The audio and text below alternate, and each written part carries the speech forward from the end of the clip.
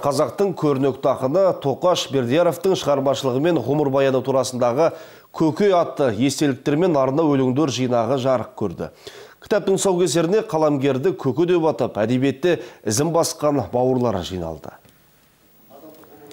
Жинақты ақын Болат Шарақымбай құрастырып шығарған көке кітабына әуезіп Мақатаев бастаған бірнеше авторлардың естеліктері мен зерттеулер енген. Сол кесерге келген ақын жазушылар қаламгер туралы қызықты жағдайлармен бөлісіп, кеңестік кезеңде қағажу көріп халық арасында насихатталмағанын айтты.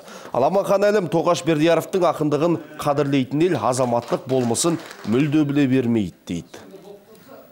өзін ұстау қатал қатқыл көрінгенмен өте мейірімді адам еді мысалы ол кісі ұшқын деген ауылдан аудан орталығына абайға қарата өзінің ақшасына асфальт салдырған. Азаматтығы. А соны көп адам біле бермейді.